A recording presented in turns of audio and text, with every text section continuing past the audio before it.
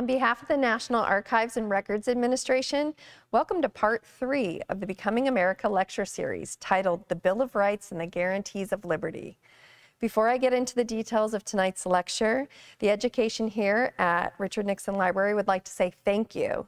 Thank you to our lecturers and thank you to our viewers. We hope this lecture series has been entertaining and educational. If you have any questions regarding tonight's lecture or past lectures or would like to see more content similar to this, please email me at rachel.fisher at nara.gov. Tonight's lecture, number 18, is the final lecture of the series and is titled Amendment Mania, Expansion of the Rights and One Repeal. Our lecturer tonight is Dr. Jo Ellen Chatham, Director of the Center for Civics Education at Concordia University in Irvine, California. Please help me in welcoming her to the stage.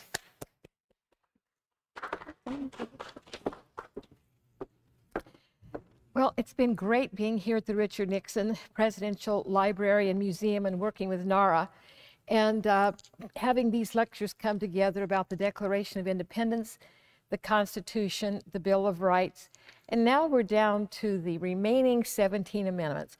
So for the next 17 hours, um, we will actually be sleeping 16 of them, uh, but we'll go through these 17 amendments um, to the Constitution, hopefully within an hour. And some of them are pretty obvious, but there are some really interesting stories behind these amendments, as there are stories about all of our history, of the different men and women and diversity and all kinds of ages and races and religions. We have a wonderful history, sometimes a little tough history, um, but it's all revolved around our form of government and the freedoms that we fought for over 200 years ago. So let's take a look. Um, there's a wonderful book out by uh, John Kowal and Wilfred Codrington, and it's all about the amendments to the Constitution. It's a fairly new book published two years ago.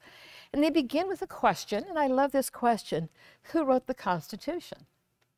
If I would ask anyone in this room or looking on through the, um, through the internet, you would say, well, the men at the Constitutional Convention. And you would be partly right. They drafted the Constitution, but then you'd have to add James Madison a second time because he proposed the Bill of Rights.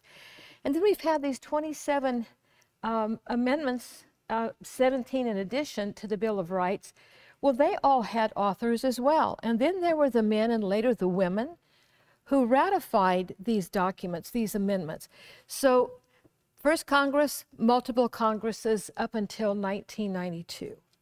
So, let's take a look at them. We've already spent a lot of time on a couple of our lectures talking about the 10 First Amendments, which we call the Bill of Rights.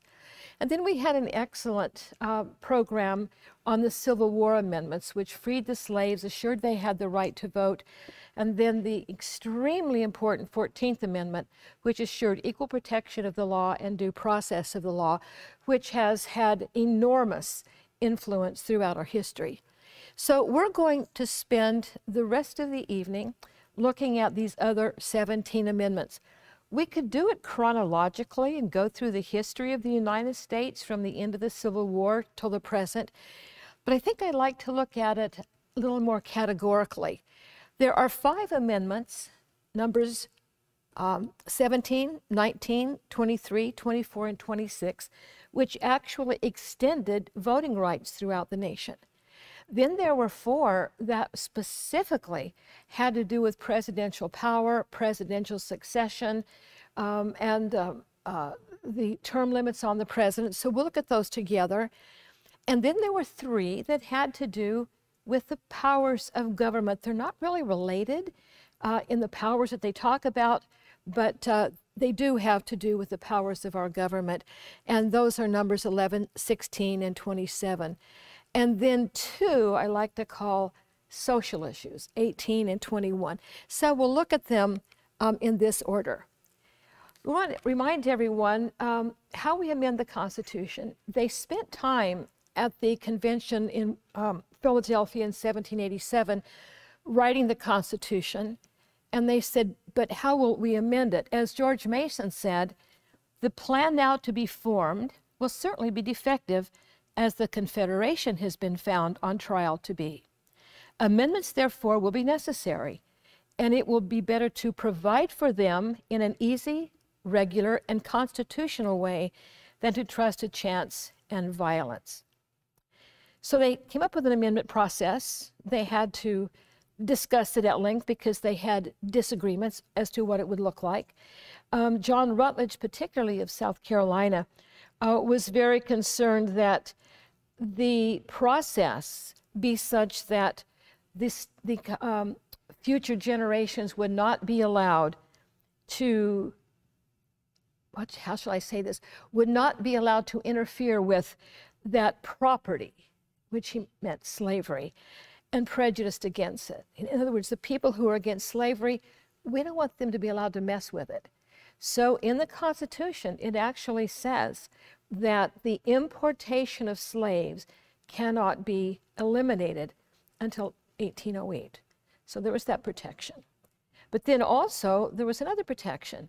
When um, Roger Sherman, representing Connecticut at the convention, he and his fellow delegates had a demand from their state that whatever they would agree to, they would not give in to anything that would interfere with the equality of the states under the new Constitution. Of course, that's why we have the constitutional provision that the Senate will be composed of two senators from each state, no matter how large or small. But beyond that, they finally came up with the amendment process, um, which is fairly simple. Amendments can be proposed by two thirds of the members of both houses, or it can also be proposed by a convention after two thirds of the states call for such a um, convention, Congress must call such. Uh, we've never used that second um, method of amendment. So far, they've all been nominated or presented, proposed by two thirds of both houses of Congress. Amendments can be ratified in two ways by three fourths of the state legislatures or by three fourths of ratifying conventions in the states. And 26 of our amendments were by the first process, three fourths of the state legislature. But as we'll see, one of them was ratified in conventions in the states. So let's take a look at the 12th Amendment. The founding fathers really did not anticipate political parties. Well, they knew that there were differences among people, but they wouldn't really result in factions or political parties. That was one thing that they made an error on. Um, the Electoral College was created to elect the President of the United States. And electors were to meet in their state capitals in December of every four years and choose the President and Vice President. The electors were to be chosen, quote unquote, in such manner as the legislature thereof may direct. Now, in the early years, most state legislatures simply appointed them.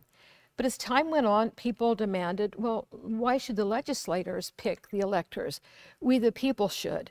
So by 1832, nearly every state had adopted some sort of a process which allowed the people to have a say so in who the electors would be.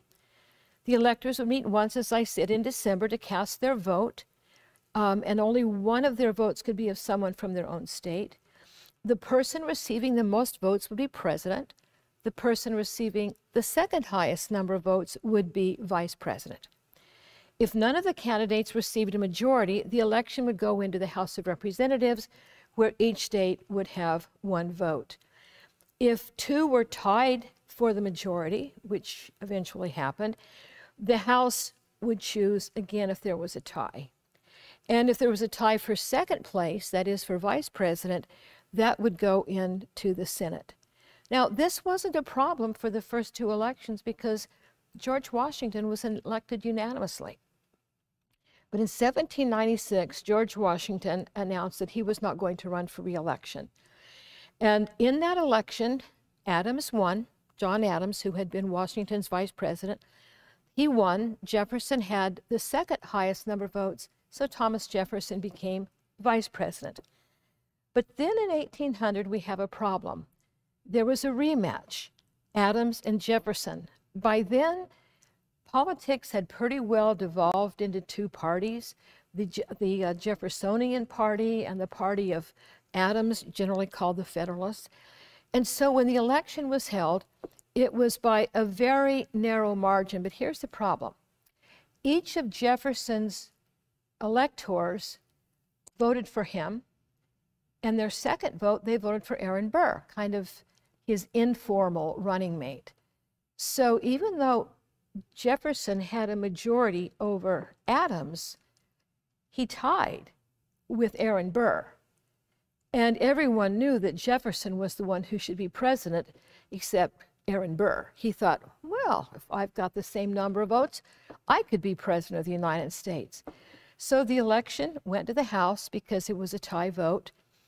After 36 ballots over seven days, and with the help of Alexander Hamilton, Jefferson prevailed and became president of the United States.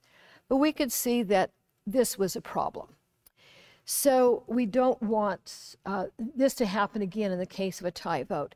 So the 12th Amendment was passed, and it made it very simple. Electors from now on will cast their ballots separately. One will be labeled president, the other will be labeled um, vice president, or, so that it will be very clear who they're voting for. And also, if the House has to vote, if it goes into the House, if there is no candidate that gets a majority, the original Constitution said that the House would choose from the top five candidates. This way, they narrowed it down to the top three. What happens if by Inauguration Day, the House hasn't picked a president yet? because they keep voting and voting and voting as they did in 1800. 36 ballots over seven days. If that happens and a vice president has been elected, then the vice president steps into the role of being acting president until a president is elected. We've had several instances when the winning candidate did not become president. In other words, where the Electoral College voted but because of shifts in the population, the Electoral College vote didn't necessarily represent the popular vote. So we've had several presidents who were, um, who, well, the, the man who won the popular vote did not win the presidency. Uh, Andrew Jackson in 1824, um, he had the popular vote, but John Quincy Adams was elected. 1877, uh, Tilden had the votes, uh, but Hayes had the electoral votes, and he became president. And then in our own time, uh, in 2000, uh, it appears that Al Gore may have had more votes than uh, George Bush, George W. Bush, um, but Bush um, had more electoral college votes. And of course, this all went to the Supreme Court of the United States. And then in the most recent election, um, Hillary Clinton had more popular votes than Donald Trump, and yet Donald Trump had the Electoral College vote. So the first, uh, the third election we had, we had this problem of um, the election of the president and vice president, and the 12th Amendment took care of the problem of having uh, two candidates uh, have a tie vote. Then we have the 20th Amendment. Um, 20th Amendment is interesting. Um, the, the time, the Constitution says Congress must convene every December. The first, um, the Confederation Congress, under the old Articles Confederation, set the first day for the new Congress to meet in March. So as time went on, when these fellows were elected in November, Congress met in December. Well, it was the old Congress, because they, they still were in office. There was a period of about 13 months when we had a lame duck Congress. And lame duck elected officials can do a lot of things.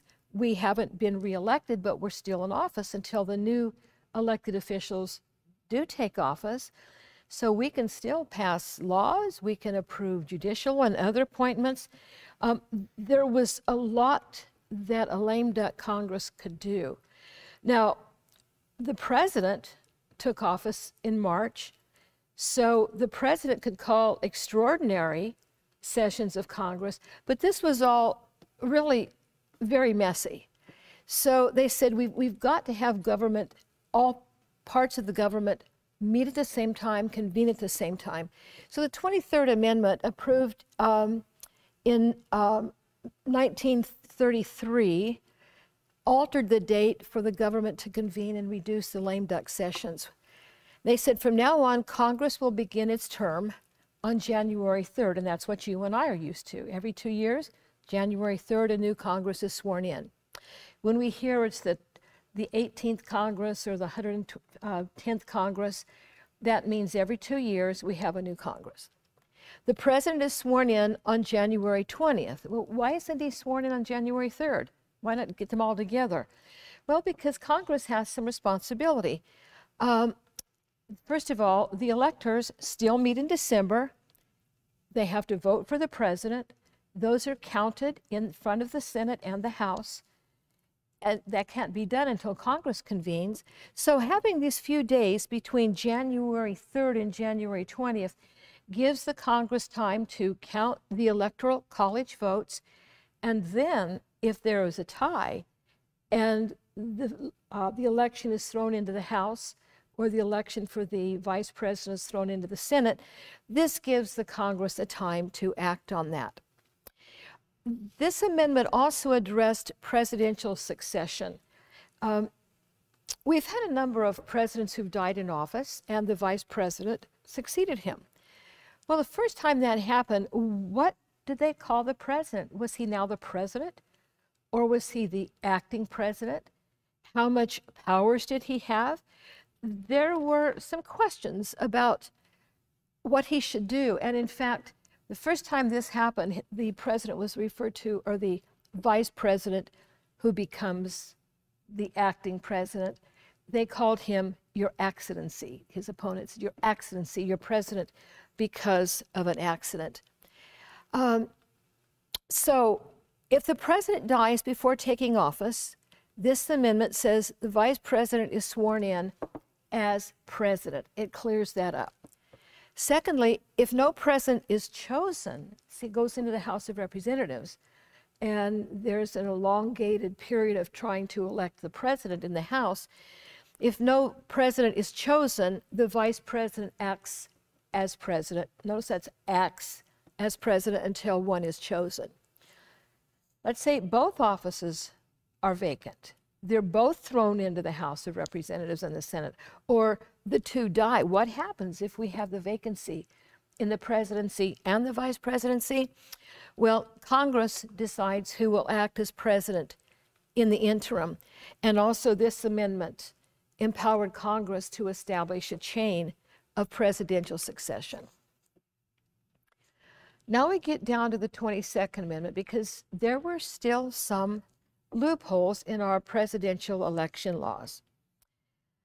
During the Constitutional Convention, they considered many types of executive one person, a committee, a group of three. What powers would they have? How long should they serve? Should there be term limits? Well, they eventually settled on a president elected by the Electoral College who will serve for four years, and there was no limit on the number of times that the president could be reelected. The first time that Congress attempted to apply term limits to the office of the president was 1803. And there have been over 270 times to limit the number of terms a president can serve. Now, George Washington established a tradition. As I mentioned earlier, he was elected to a president for two terms, and he decided, I'm done. I'm going home to Mount Vernon. Now, he didn't do that because he had to, he did it because he chose to. But he also didn't believe that he wanted to tie anyone else's hands. But John Adams, his vice president, who became president, was not reelected, so it wasn't anything Adams had to think about.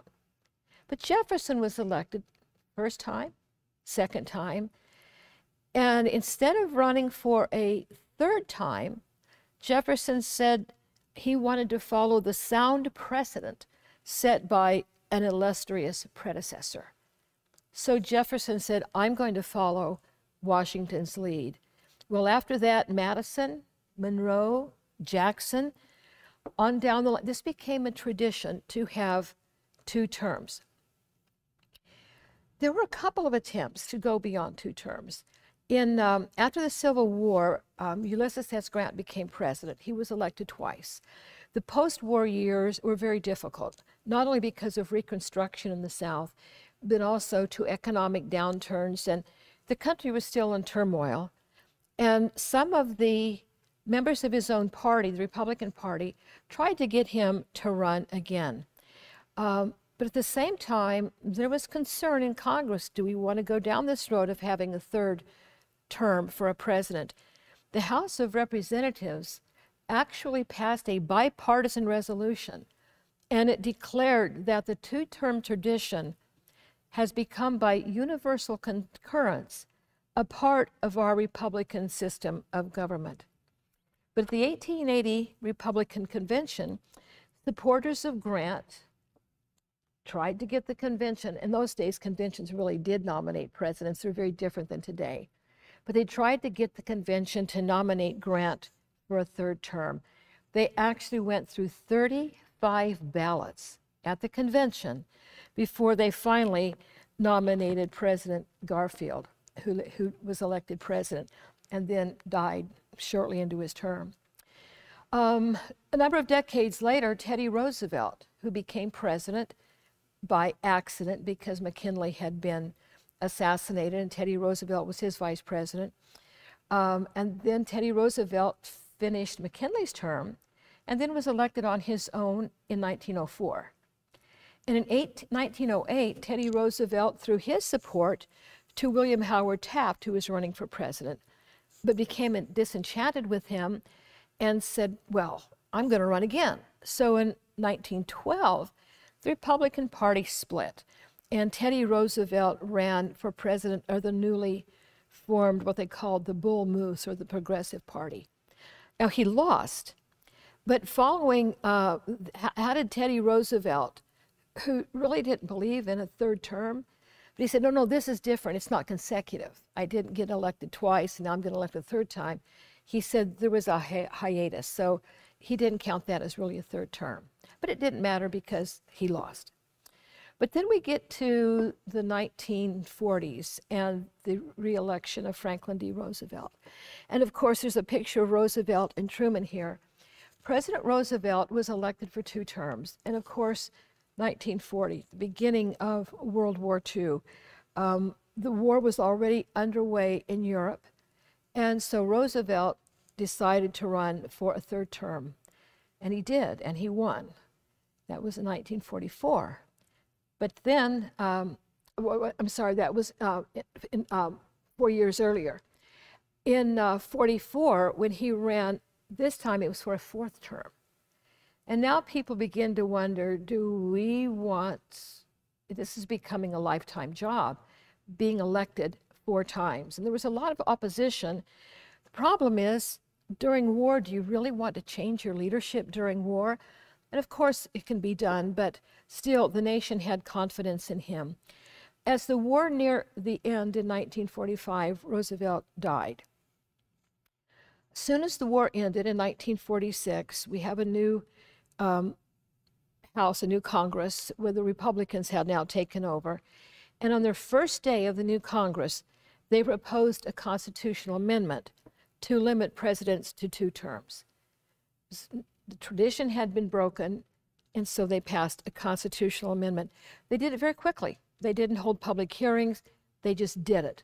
The Democrats opposed it. They said it restricted the right of the people, and there are still people today who believe that term limits on Congress or anyone else limits the choices of the people. Um, but whatever they think about that, this amendment, the 22nd, it says the president may not be elected more than twice. And if he becomes president, if, if his predecessor dies in office, if he dies in his first two years, then the vice president can not only fulfill the rest of his predecessor's term, but can run twice. So it's like 10 years. But if the president dies after the middle of his first term, after two years, then the vice president can finish that term and run only once.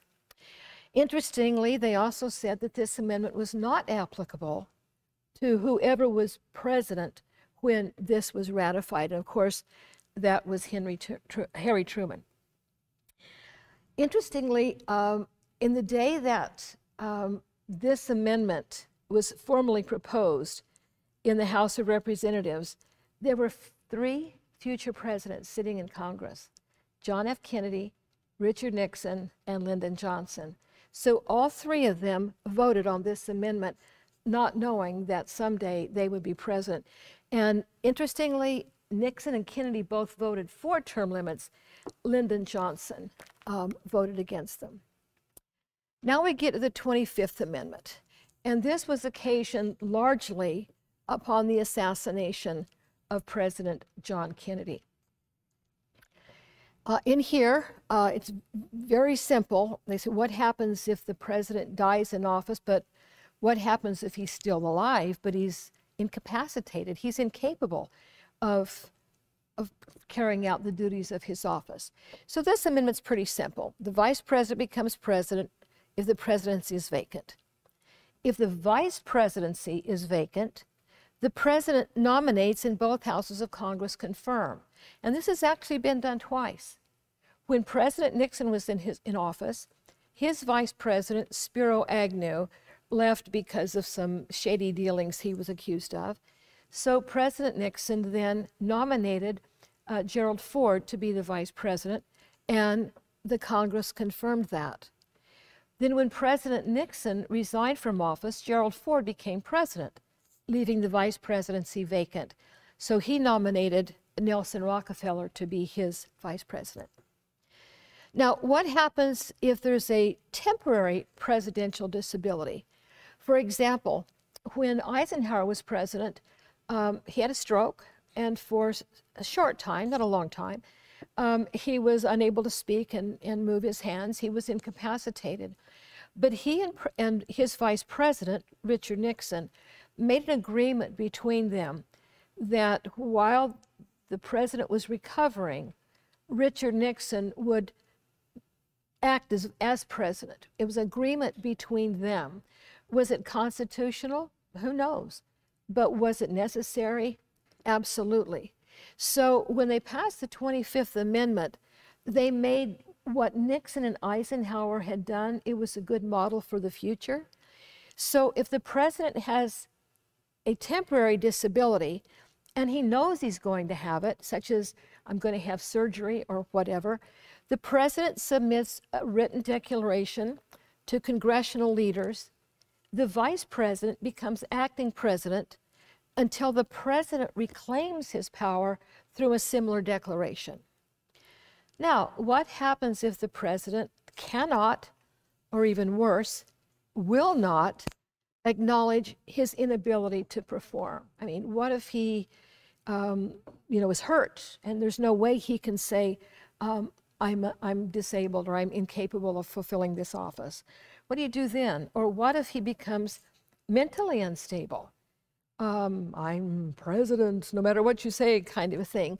So they took care of that. If the president cannot or will not acknowledge an inability to perform, then the vice president and a majority of the cabinet, or it, Congress cre can create another body to do this, but absent that, it would be the, the vice president and the cabinet declare by a majority vote that the president is incapacitated and they notify Congress.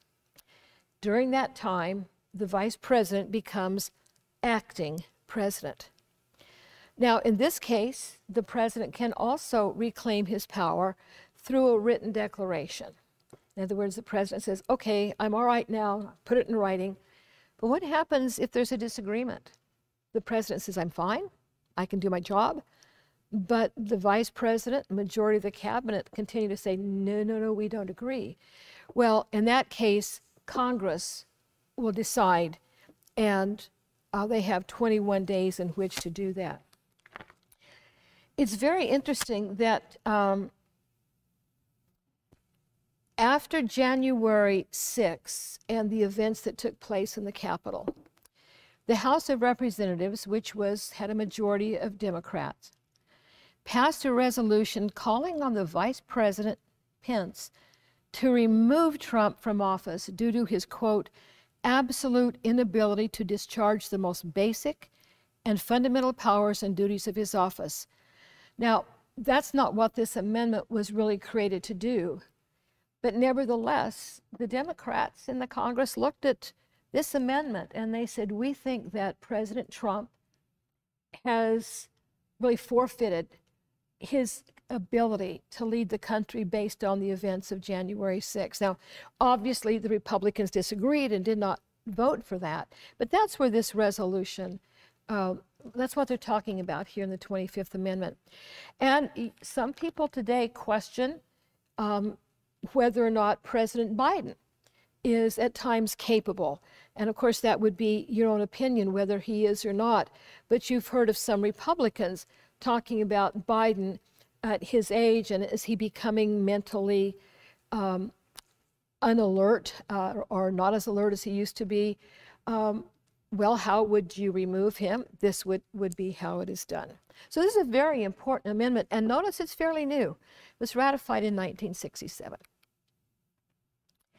So now we get down to the, um, the five amendments that have to do with voting rights. These are, are very interesting.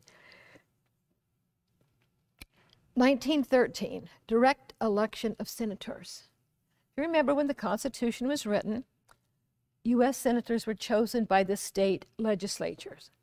The purpose was to make sure that the state government still had a strong role in the national government policymaking. You know, recall there's always has been, sometimes more, sometimes less, tension between the power of the federal government and the power of the states. So this direct ele uh, this uh, election of senators by state legislatures were meant to maintain the strengths of the states. But with the progressive era of the early 1900s, more and more people began to think, why should the state legislators elect these people?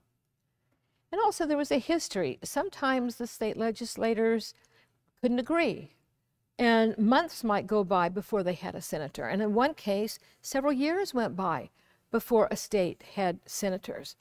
In other cases, and this was not um, totally unique, there were people who were buying the office, there were bribes, there was corruption.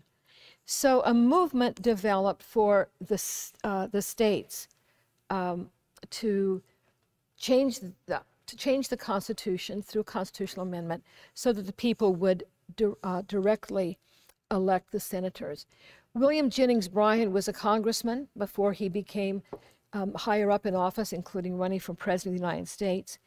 And he said this If the people of a state have enough intelligence to, uh, to choose their representatives in the state legislature, they have enough intelligence to choose the men who shall represent them in the United States Senate. It's a pretty simple argument. The people can choose the state legislatures. Why can't they choose those in the federal government? Now, of course, it was blocked for years in the Senate because it affected um, their power. But the amendment finally approved in 1913 said the people of each state shall vote for the senators. But who were the people? Not everybody could vote. And if you recall, Article 1 of the Constitution does not empower anybody to vote. It says that the states determine voting qualifications with one caveat. If you are eligible in your state to vote for the most numerous house in your state legislature, then you cannot be denied, the right to federal elections.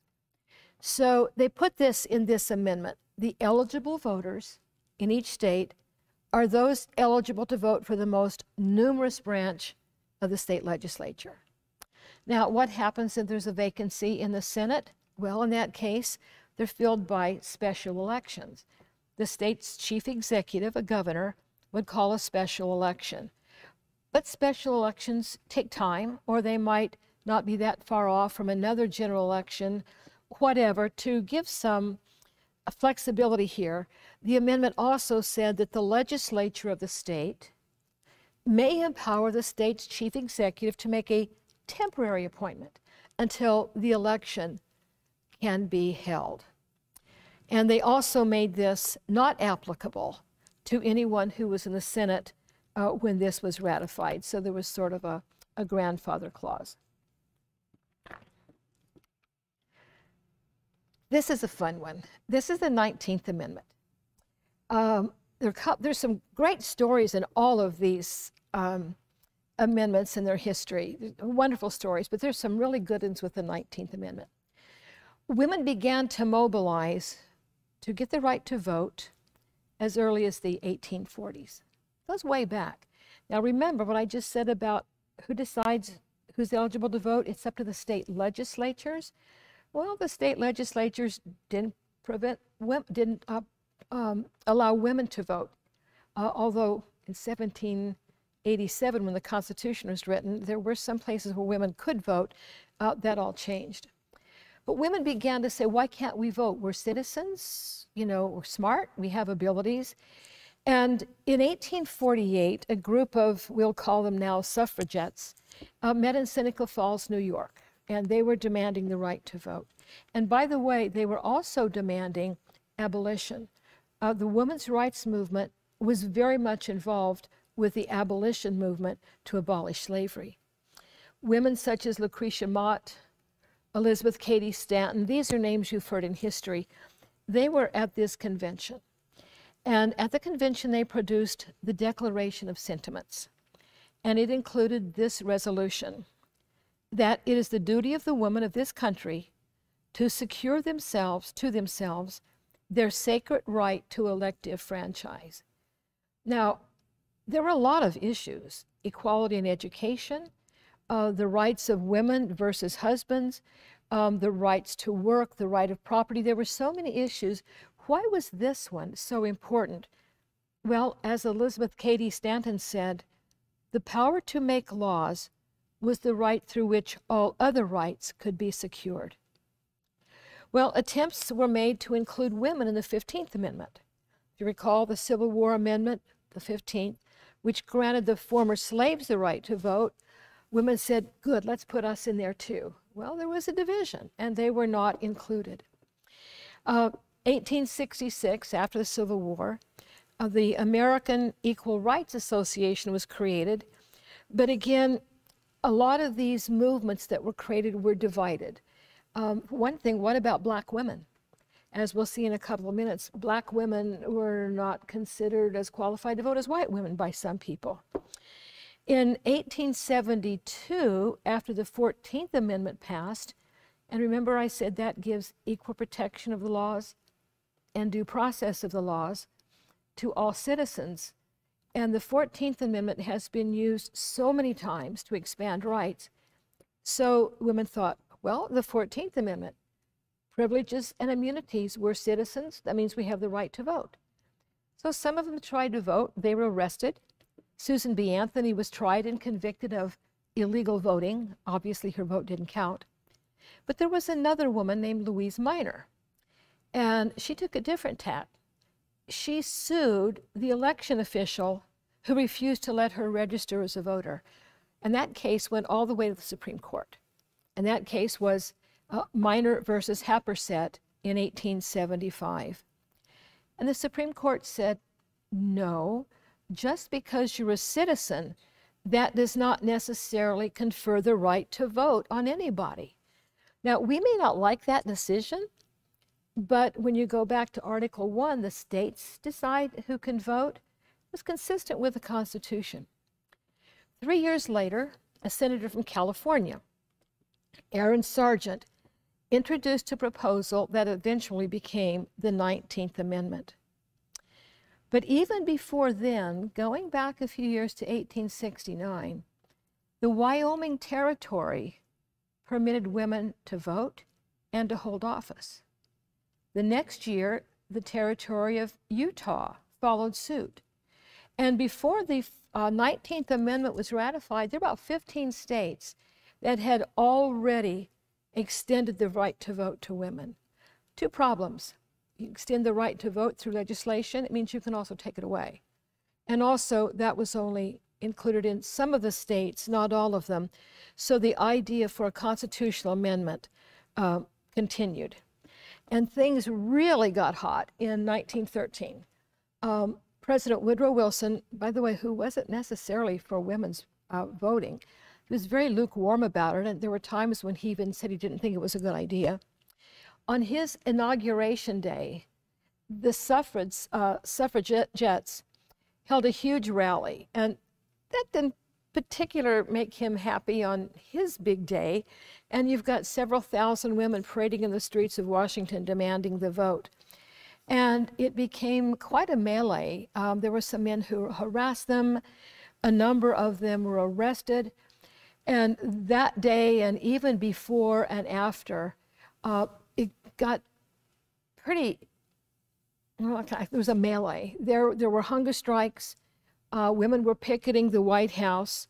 Um, and on this day that they had the demonstration in the streets on um, Woodrow Wilson's inauguration day, things even got a little nastier because the organizer of the parade, Alice Paul, um, said, well, the black suffragettes need to be at the back of the parade.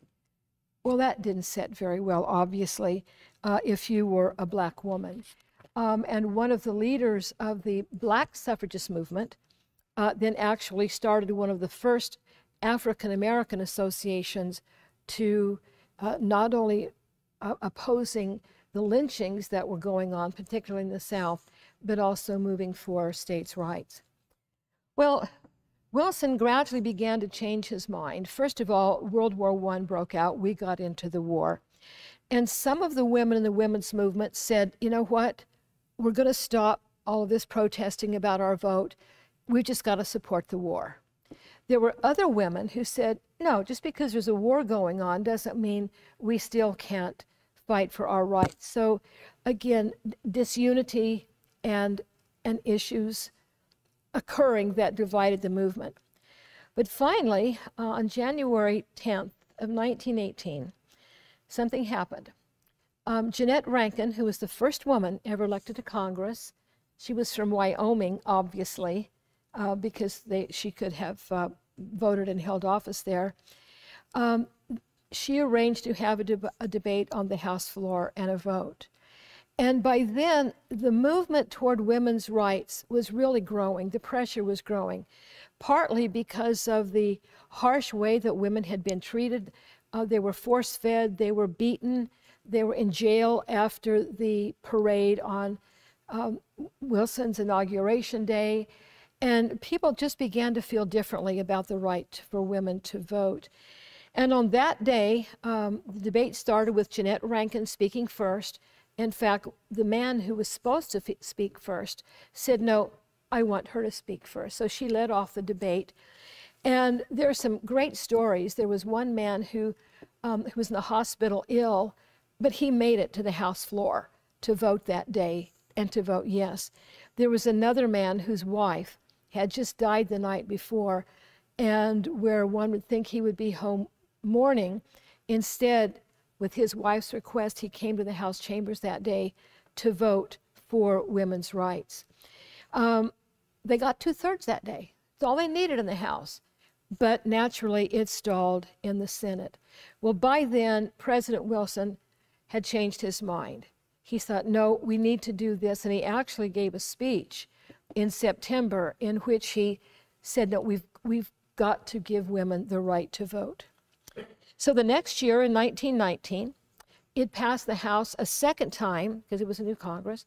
But this time, the vote was much different. It was 304 to 90. Obviously, the supporters of women's rights and women's right to vote had gained steam.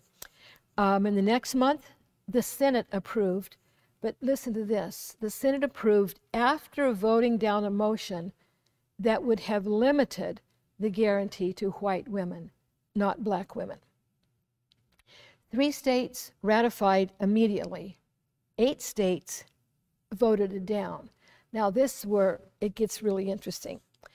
March of 1920, they needed one more state, one more, and it would become an amendment of the Constitution giving all women in the United States the right to vote. They knew that Tennessee was going to have their legislative session in August, and that was showtime. And a lot of people showed up. It was a major event. There was one young man in the legislature by the name of Harry Burn. He was 24 years old. And everybody assumed he was going to vote against ratification. It was going to be a close vote, but it was going to die.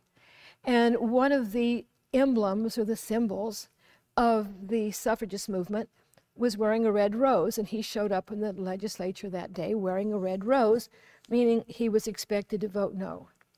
But he switched his vote at the last minute because he got a letter from his mother that's a copy of the letter, although the letter was actually six or seven pages long. And it was delivered to the Capitol. It was just kind of like a mom's letter, you know, honey, do this, and honey, just a mom's letter. But near the end, she asked him to be, I'll quote, a good boy and help Mrs. Thomas Cat with her rats. What does that mean? Well, Mrs. Thomas Cat was Carrie Chapman Catt, who was a leader of the women's right to vote movement, and she had taken over the leadership of the National American Suffrage Association from Susan B. Anthony. Well, who were the rats? They weren't little mice like things, they were the ratification supporters. So she literally wrote in her letter, Be a good boy and vote for this. And he did. And pandemonium broke out. I mean, this was um, on both sides. The opponents of the amendment were very upset. They wanted another vote. The um, supporters of the amendment were thrilled because this was the day that this would become part of the Constitution. Um, so the statue that I have on the picture here, that's Harry Burn and his mother. And this is a statue that happens to be in uh, Knoxville, Tennessee to this day. And by the way, the letter still survives. You can look it out on the internet, that it's in the possession of a historical society in, um, in Knoxville. So lots of fun stories in all of this, but also just as with the anti-slavery, anti-Jim Crow laws, the right to vote for the former slaves, well, the right to vote for women and women's rights, um, th these were struggles. The stories may be kind of fun and romantic and great to tell, but um, the difficulty in achieving these rights for many people was very difficult. So this is an interesting one. The 23rd Amendment, what's that got to do with voting rights? The Constitution required that a district be set aside for the capital so that it would not be in any state, it would be a district. And of course, we know what happened is that um, Jefferson and Hamilton got together and they made a deal over dinner in New York City. And in exchange for the federal government taking over the Revolutionary War debts of the states, they would put the capital in a southerly location, which we now know today as Washington, D.C. Now, from the very beginning, this, people knew this was a problem. The people who live in this district don't live in a state. And how, how are presidents elected? They are elected by the Electoral College, and each state has the number of electors that they have in the Senate and the House. Uh, every state in Congress is represented two in the Senate, and the number depends in the House on your population. Well, if the district is not a state, then these people can't vote in federal elections. And as early as 1788, even before the Constitution was ratified, the state of New York, in its ratification convention, said this is a problem because the people who live there aren't going to be able to vote. This is wrong. Um, and while DC was being built, there were about 14,000 people living in the district. Um, some of them, um, because the district hadn't been fully incorporated yet, they were still voting in Maryland and in Virginia, which is where the district was carved out of. But when the capital officially relocated in 1800, the buildings were built, business was going to be conducted there, um, there were complaints even by members of Congress that the people who live here cannot vote. And the first attempt to make this constitutional fix was in 1888. Um, but it didn't really catch on until 1961. So the 23rd Amendment simply says that the people of Washington, D.C. can vote for the presidency they will have the number of electors equal to the number that they would have if they were a state, as long as it's no more than any state. So the least populous state has at least one House member and two senators. There are a couple of states who only have one House member, Wyoming, for example. So Washington, D.C.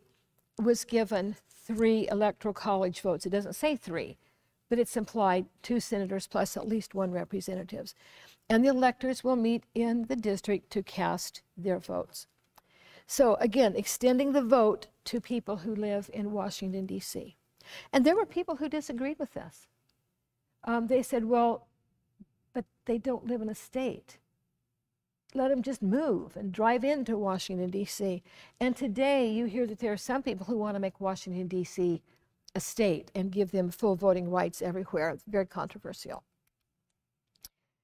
24th Amendment, ratified in 1964, poll tax. When poll taxes were initiated back in the 1700s, it wasn't something to keep you from voting. They actually felt that if you don't have a stake in the government, in the community, why should you vote? So voting was often you had to pay a poll tax because you had to have some measure of property showing that, yeah, I've got a stake in this community. Um, it wasn't meant to stop people from voting. But over time and very quickly, as the country changed, we became more industrialized. We weren't just farmers. The towns were growing. There were more merchants and people in industry and so on. It just made sense that more people could pay this tax because it was a small tax. So eventually they just, we don't need the poll tax at all. And states began to relax their rules for voting. Um, by the end of the Civil War, there were only three states that still had a poll tax, and they were all in the North.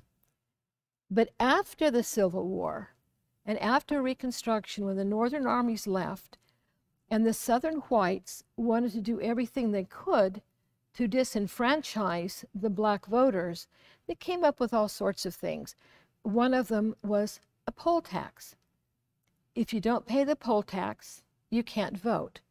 Well, because this not only hurt black voters, it hurt poor white voters.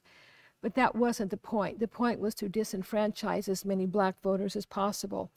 Um, there were other ways that the South used to prevent blacks from voting. Literacy tests, for example, were applied. And sometimes it wasn't simply that you can read. Can you interpret it properly? Do you really know? It all became very subjective. Now, technically, these prohibitions were race neutral. They applied to whites as well as blacks. So they quote unquote passed muster. No, this isn't discrimination. We can't help it if there are more black people who can't vote than white people. But the problem is um, it was disproportionately now hurting low income white people. And there was a senator, um, very interesting um, fellow, who decided that because the poll tax was discriminating not only against blacks, but against whites. Voter turnout in these states, particularly the southern states, in fact, all 11 of the former states in the Confederacy, of the states that were forming the Confederacy, had poll taxes. But the voting turnout was extremely low. People just couldn't afford to pay the tax. But then in 1947, President Truman, after World War II, and also when people really began to appreciate the sacrifices black Americans had made during the war, had a commission on civil rights, and it addressed, among other things, the poll tax. And they said the poll tax limits white as well as Negro suffrage, but it frequently had an unequal racial effect, a very effective um, effect on the anti, as an anti-Negro um, device is the language that they used. So Truman's commission recommended that the poll tax be eliminated either by statute or by constitutional amendment. Well, Senator um, Spessard Holland, I think it's an unusual name, Spessard Holland, um, as early as 1949, he began to propose a constitutional amendment to eliminate the poll tax. And for years, every Congress, he would bring it up, bring it up, bring it up. Couldn't get hearings. Um, there's just no interest in it. But finally, um, in the 1960s, it got traction, and he figured out a way to get it uh, before the Senate for a vote. Now, interestingly, he, he was very adamant in getting rid of the poll tax because as he noticed, there were so many whites who were not voting because of the poll tax. They couldn't pay it. But he was a Southern segregationist. He was from Florida. Every time that there was a civil rights bill on the floor of the Senate, he voted no. So why did he want this poll tax eliminated? Well, a couple of reasons. One, um, he did want to have government be more honest, where people who could pay the poll tax could pay it and more people should be voting.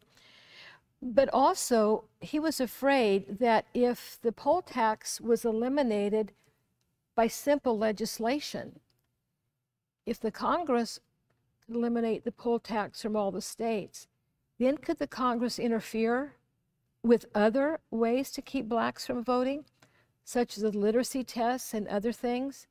So he thought constitutional amendment is better, gets rid of the poll tax, which is on its way out anyway, but it doesn't affect all of these other um, uh, racial discrimination uh, issues regarding vote um, regarding voting. Uh, this also came up before um, the Supreme Court of the United States. In fact, it came up more than once, but finally, in 1966 in Harper versus Virginia, when the poll tax was challenged. Because remember, the Constitution originally said the states decide who votes, and now you've got a constitutional amendment that is taking away something having to do with the voting. The Supreme Court said no, the poll tax amendment, um, the poll tax itself isn't constitutional because it deprives people of the right to vote. Okay, another voting rights amendment ratified in 1971. This prohibits the, not, the denial of rights to young people on account of age as long as they're 18 or over. And um, interesting, the young people weren't really clamoring for the vote. The women did regarding the 19th Amendment, but you didn't have young people out rioting and marching to get the vote. But they were out marching and rioting against the Vietnam War, against the draft, for civil rights. And um, so the, the, these 26th Amendment really became almost like a byproduct of that. Now, back in 1942, at the beginning of World War II, we lowered the draft age to 18. And people began to think, well, if the young, if they are old enough to fight, they're old enough to vote. And after the war in 1954, President Eisenhower supported this amendment, lowering the voting age to 18. And remember, President Eisenhower had been the commander of the Allied forces in Europe. He was a military man. He said, old enough to fight, old enough to vote. The opposition said, well, yeah, they're old enough to vote because they're young, their bodies are strong, and they're easily molded to take orders. But that doesn't mean they have the presence of mind and the critical thinking to be good voters. Um, nevertheless, uh, the amendment was passed in 1971. Um, President Johnson supported this. Um, and of course, President Johnson was not reelected because of, of the war, and the young people um, demonstrated heavily against him. Um, President Nixon supported um, the amendment before he became president of the United States. And in fact, there were some people who were using the argument again don't amend the Constitution, just by, do it by legislation. But again, legislation can be changed by the next Congress or even the current Congress. Constitutional amendment is permanent. Nixon wanted a constitutional amendment and knew that there was a Supreme Court coming up um, because um, there had already been legislation um, on, on the voting age being reduced. And the case was Oregon versus Mitchell in 1917. And Nixon said, let's see what the Supreme Court has to say. They weren't very helpful because four judges upheld the, um, the law of, of, of, well, I should back up a little bit. Congress had inserted into the Voting Rights Act lowering the age. And the opponent said Congress can't do that because the states determine voting qualifications. So four judges on the Supreme Court said, well, we uphold that because under the 14th Amendment, Congress can do so. Four other judges said, no, Congress can't do it because it violates states' rights in the first article of the Constitution. And then one judge said, well, Congress can do it as long as they show that there's some sort of a racial impact. So the court was totally um, useless. It was a split decision.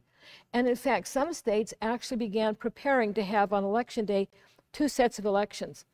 Elections for federal elections, where they would allow the young people to vote um, in their own state, um, and um, for federal elections and then for state and local elections because of the Supreme Court decision. When this came up for a vote, um, interesting, on March 23rd, the House approved, and five states ratified it within hours of being finally proposed and sent to the states by the Congress. 1972, the first time young people had the right to vote, they voted overwhelmingly for Nixon, which was very interesting. And the youth vote wasn't really that big. And by the way, when women got the right to vote, the early returns, uh, women did not vote in large numbers either. Now, I mentioned some powers of government. Well, these are kind of interesting. In 1913, um, let's see, we have, did I miss one? Let me go back here. Yes. Um, after the Constitution was ratified, um, the Supreme Court had certain jurisdiction that was written into the Constitution in Article 3. And that allowed people of one state or four nations to sue a state. And there were a number of these cases, not a lot of them, but there were some.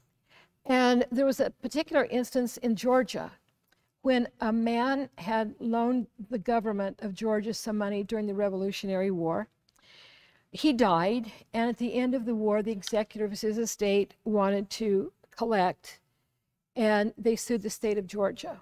Georgia refused to show up in court, saying, You can't sue us. Well, according to the Constitution, apparently they can. And so, in a case called Chisholm versus Georgia, the Supreme Court said, That's what the Constitution says, they can sue you.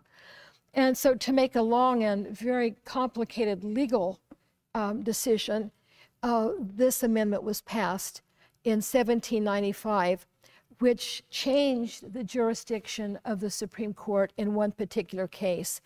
It excludes certain kinds of cases prosecuted by states uh, against a state by citizens of another state or citizens or subject of another country. Um, this has been litigated and modified over time, but this really had to do with states' rights, protecting states' rights from federal court intrusion. Um, oh, this is, this is a nice one. We love this one. Uh, to impose income taxes. The Constitution said that the federal government could not impose a capitation or other direct tax unless it's apportioned equally among the states based on their population, just like population um, accounts for representation in the House. The problem was how to define a direct tax. During the Constitutional Convention, James Madison's notes made this comment that Rufus King, one of the delegates, said, What's the price meaning, the precise meaning of direct taxation? Madison's note said no one answered. So they put this in the Constitution without a definition. Several years later, when Alexander Hamilton is Secretary of the Treasury, he wrote this What is the distinction between direct and indirect taxes? It is a matter of regret that so uncertain and vague a point as this is to be found in the Constitution. So we're not really sure what it was, although it became to be an income tax. There was an income tax imposed during the Civil War, um, and it was progressive, but you're not going to believe that it was 3 and 5%, which is today, we would all love that. And it was upheld after the Civil War in 1880 in a case called Springer versus the United States. They said the income tax was legitimate. But then in 1894, the Democratic Congress imposed an income tax, and that went to the Supreme Court. An entirely different Supreme Court had a completely different answer. In Pollock versus Farmers Loan and Trust, they said income taxes are unconstitutional. So we've got courts disagreeing with each other. Every year after that, someone would introduce an income tax measure in some ways just to defy the court. But William Jennings Bryan, who we mentioned earlier, took up the issue for amendment. It was finally proposed in 1909, went through both houses fairly quickly, and was ratified in 1913. And it's very simple. It simply says Congress can tax your income, and it does not have to be in such a way that it's equalized among the states. This is my favorite one. If you heard from our earlier lectures, when James Madison proposed the Bill of Rights in 1789, and they were ratified by 1791, he proposed 12 amendments. Only 10 were ratified, and we know them as the Bill of Rights. Well, what about the other two? Well, one of them, which was actually number two on the list, said that basically Congress can't give itself a pay raise. In other words, if Congress votes a pay raise for Congress, it does not take effect until after the next election. And so, in other words, you might not get reelected, so you don't get the pay raise. So it just shields Congress from being uh, terribly self dealing. Well, one thing about the 18th Amendment, oh, we'll get to that in a minute, so let's not do that. Um, in, in 1982, there was a young man by the name of Gregory Watson. He was 19 years old. He was a student at the University of Texas in Austin. And he was doing a paper. The paper, which we'll get into the 18th Amendment. Um, the 18th Amendment included the amendment had to be ratified within seven years or it was dead. Well, the Equal Rights Amendment, which had been proposed in the 80s, 70s, and 80s, also had a deadline. They didn't make the deadline of seven years. And so there was a question, can Congress extend the deadline for ratification of the Equal Rights Amendment? And Mr. Watson was writing his paper on that. Could Congress legitimately extend the deadline for ratification of the Equal Rights Amendment. Well, he's doing his research and he found that that second proposal by Thomas Jefferson or by uh, James Madison in 1789 had never been ratified, but there was no deadline on ratification. It was still sitting out there. So he turned in his paper and he got a C, which is kind of disappointing. But he also felt, I'm going to make this thing happen. Even this 19 year old college student who gets a C on a paper and he starts contacting members of both parties. Hey, there's the amendment out there. We ought to get this thing ratified. Well, William Cohen, who was a representative from the state of Maine, he got it. That was kind of interesting. So he gave it over to his friends in the Maine legislature. And the legislature of Maine ratified it in 1983. Well, that's pretty cool. He only needs 28 more states to go. So this young man makes it his cause for nine years to tell states you need to ratify this. And he made good arguments. They researched it, they ratified. Finally, the last state he needed to ratify was Michigan. And he's on the phone while Michigan legislature is voting on it that day, and it becomes the 27th Amendment to the Constitution. Now, some problems remained. Wait a minute. This thing's 200 years old. Can we still ratify it? That's a good question, especially since the Supreme Court had said in Dillon versus Gloss in 1921 that amendments should be ratified sufficiently contemporaneous so they're not scattered over a long series of years. That was in response to a challenge to the 18th Amendment. But then in Coleman versus Miller in 1939, uh, regarding whether a child labor amendment had lost its vitality through the lapse of time, the Supreme Court said that's a political question. That's for Congress to decide. We won't decide it. So one week after Michigan voted to ratify this amendment, um, members of Congress said, well, we better hold hearings and find out if 200 years is too long. Well, the archivist of the United States, who at the time was Don Wilson, he made a decision. He said, as archivist of the United States, a law passed in 1984 gave me the authority to manage the process of certifying constitutional amendments. So he certified it, and nobody fought it, so it became the 27th Amendment to the United States. And if you care, um, 30 years later, the teacher who gave Watson that C, she officially went to the legislature and had him change it to an A. Good stories. Um, 18th Amendment, this gets us in the last two, the social amendments. Prohibition had been um, an issue in this country for well over 100 years. Uh, there were people led by women, but men and women both, who said consumption of alcohol is a problem. It creates marital problems, it creates brawling, it creates all kinds of problems. We've got to do something about it. One of the problems was very often the water wasn't very clean in this country, just as it's not clean in many third world countries today. So people were drinking hard cider, they were drinking beer, whiskey, gin. Um, in fact, it's been estimated that the average person in the United States in the early 1800s was consuming about three times the alcohol that we consume today. But again, this was blamed, uh, um, it was considered, and rightly so, to be accountable for alcohol, uh, for, for crime, poverty, and domestic violence. 1846, Maine became the first state to pass a prohibition law. And a whole political industry built around prohibition a lot of people became one issue voters, just like today, many people are one issue voters about gun control or about abortion. Well, there were a lot of voters who were one issue voters when it came to um, prohibition. Finally, in 1913, there were marches in the capital of several thousand people.